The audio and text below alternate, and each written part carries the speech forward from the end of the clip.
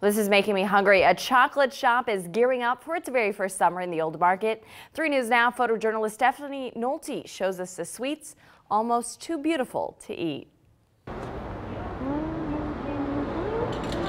Stepping into Chocolat Abeille is a full sensory experience. We have something beautiful to look at. It smells wonderful. It tastes delicious. Always, because they're making chocolate all day, every day.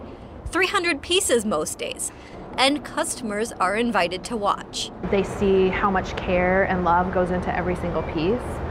Um, and it's just a really neat experience for them. I think the first thing they notice when they walk in is just an aroma of chocolate.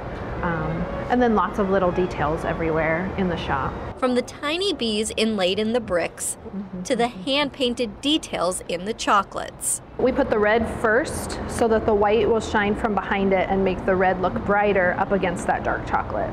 Tweety has worked in the restaurant industry for 23 years, 12 as a pastry chef. I was ready to do something um, small and focused um, but I knew if I was only selling chocolate, it had to be in the perfect location. She says chocolates pair well with the honey she gets from her established beehives. She sells her honey in the shop, even fills some of her chocolates with her local honey.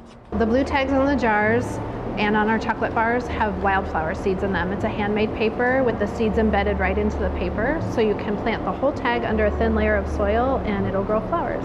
That attention to detail can only be appreciated here in Omaha. Chocolat Abeille is small by design. You can't buy it online, and she doesn't ship.